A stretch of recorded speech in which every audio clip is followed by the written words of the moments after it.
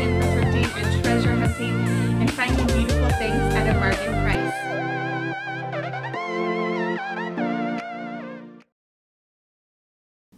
Hello friends!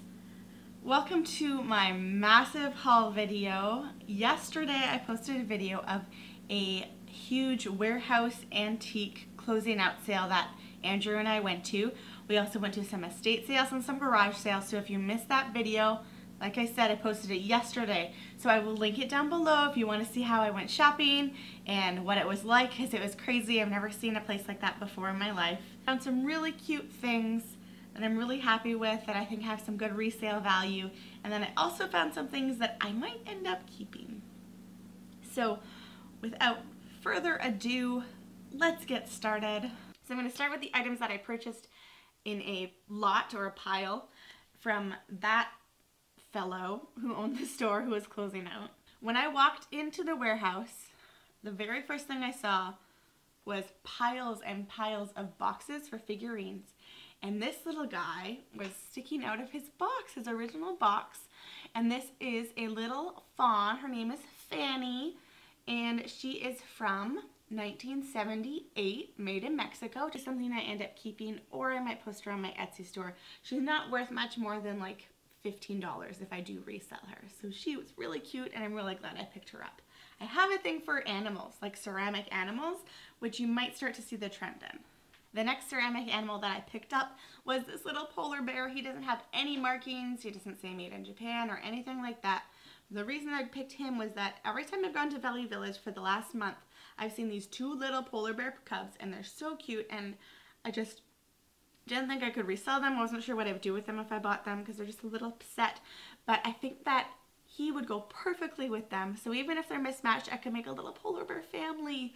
Something else I picked up to keep for ourselves is this box of um, 1986 hand-painted ornaments. And they're these little like reindeer. They're adorable. I'll show you some close-ups of them. But uh, it's just a set of four and they're in perfect condition. And I was just a sucker for them. I had to have them for Christmas time. So I added those to my pile. Now in this warehouse, they were like, oh, the good stuff's at the front or in the back. It was, and I was like, um, yeah, well, I'm finding cool stuff back here, so I'm not in a rush. But eventually I went back there and there were some really cool pieces, um, like Victorian glass and Chinese pottery and things that I couldn't even tell you what they are, but I knew they were old and special and really expensive. Um, and I think I found this in that room. This might be the only thing I picked up from that room. As far as I can tell, this is a Fenton glass vase. It does have a little spot where there was a sticker. It could have been a price tag. It could have been a brand name. I don't know. So I'm going to research this little guy a little bit more, but I thought it was really cute. And if it is Fenton, it's probably worth about 50 or $60. I also picked up these vintage Ashdale pottery made in England mugs and they are woodland creatures. I picked up a set of six. There's two of each type of animal. So there's two fawns, two bunnies, and two field mice cups. So the set of six in the original box, they're just stoneware mugs. Really love those. And they're probably worth about $10 a piece. So I'll try maybe to sell them as a set. I haven't decided if I'm going to sell them as a set or in pairs or sets of three or individually. I don't know. If you're a seller, a reseller, can you leave a comment down below and let me know what you would do with these mugs if you were going to resell them like I am. I'm going to show you this little birdie next. I picked up this little box of like vintage ceramic birds. I'm a sucker for animals, like ceramic animals, but I'm especially a sucker for little birds. So I picked up a box of eight of these. I am hoping to start up a planter business this summer, so maybe I'll just stick these little guys in there as like bonus little treasures. I don't know. They were too cute to just leave there.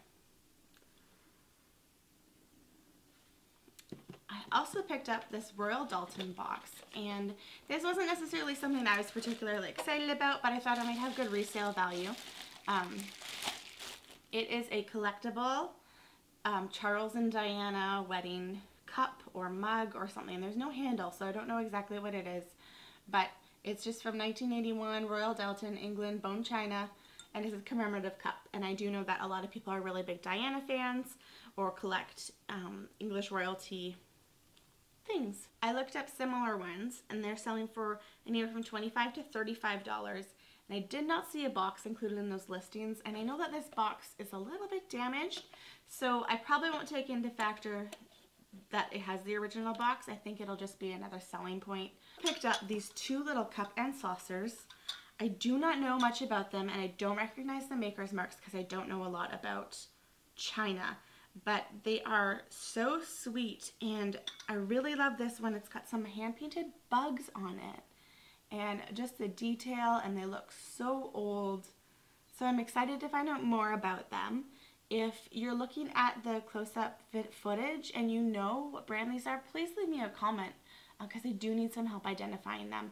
But the fellow who was selling them to me wanted $20 for the two of them and he said they're worth a lot. So I look forward to finding out more about those cups.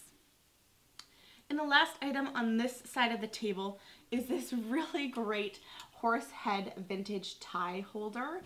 And the only reason I knew what this was is because I once picked up one of these. It has a bear on it. I, uh, it's hanging in our bedroom on our gallery wall, and Andrew actually does keep his ties on it.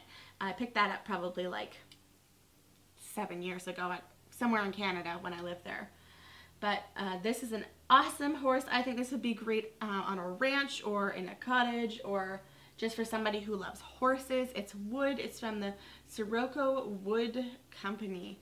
And it's from the 1940s. It's a little dirty. I do have to clean it up. But I was really excited about this because a lot of people don't even know what they are. so I love vintage tie holders. If you're wondering, okay, what did you pay for all this stuff? So far, everything that I've told you about was included in my pile of items I got for $60. So I still have a few more and I'll tell you when we get to the end. But I also picked up this blown glass. I can tell that it was blown because it's got the mark there from where it was taken off of the rod. I don't know if it's called a rod, but that's what I'm calling it.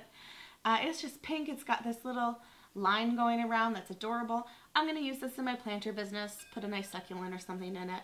I just liked the color. I thought it was pretty. I also picked up this adorable little basset hound pup. He has these giant paws. He's in amazing condition. He's just so sweet. My mom already wants to buy him from me because she thinks he's the best. And it is made in Germany um, by a company called Erphila. And that's just a little vintage doggy. Had to have him. Too cute. Right next to the vintage doggy, I did pick up these. These are so weird, but I liked that they were made somewhere that I had never seen something made from before. They were made in the USSR and it's this pair of little gray squirrels and little gray bunnies. I got two of each. And then this really beautiful little brown squirrel, which I'm pretty sure lives with me now. This little candle dish from a company called Meissen. Rather, it's rather old. I can't remember how old, but uh, I recognize the symbol on the back from one of my antique books that I've looked at and he actually told me he sent away the whole set. He sold the whole set and he must have missed this. So I just picked up this little dish and this little dish is actually worth $30 online. It has some really pretty flowers on it. So I was really excited about that. Believe it or not, I still have two more items that I purchased from this sale for my $60. I'm going to save my favorite thing for last. This Stein. It's from the 80s but it came in its box. It even comes with an original certificate verifying its authenticity and it has a price tag of $85 on the bottom so someone was trying to sell it for $85. I did find similar ones online in that price range area. It has the creepiest little man on top um, but he won't be in my house for long hopefully so I'm excited to sell that.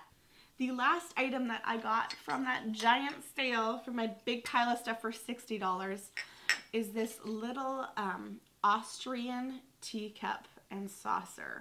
It is gold on the inside, which I love gold, so I was drawn to it. But the hand painting on it is beautiful. Um, and there was a price tag on it, so I didn't have to ask for more information. I just was able to look at what was on here and it says Austrian Cup and Saucer Alhambra, which is the style of it. Uh, oh, sorry, it's the pattern. circa 1880s and they were asking $80 for it when they were trying to sell it. So everything that I got at the very beginning of the day, it was a good start to the day at that warehouse sale. So $60, I actually spent $66 with tax. And I got, I think I counted 19 items, but that's not including like sets. So I counted all six of these mugs as one item. So I definitely got way more than 19 items individually. I probably got closer to like 30 for $60. And I just want to say that if you ever go to sales and things, don't be afraid to barter because he said like I wanted, he wanted $20 for these teacups. He wanted $20 for this. He wanted $15 for like these mugs and a couple other knickknacks. And I just said to him, I was like, I'm not interested in paying $20 for those mugs. And so I made him a low offer of $40 for everything, assuming that he would counter offer. What I was really willing to pay was $60 because I did want to be fair as well. I didn't want to just lowball because he was selling out. Um, and so he counteroffered with 60. And in retrospect, I could have come back with 50, but I was really glad that I went with $60 for all of it because I got some really great pieces. And I didn't want to disrespect him and all of his hard work in gathering the pieces. And I could tell that his stuff really meant a lot to him. And so I'm really happy with everything I got. Hi friends, so I've actually decided to break this video into two parts because it is quite long. Uh, I do have more items to show you from estate sales and garage sales that I went shopping at uh, on that day. And so if you'd like to see the rest of my haul, click on over to part two of this video. There's going to be a link in the description. And I hope to see you over there.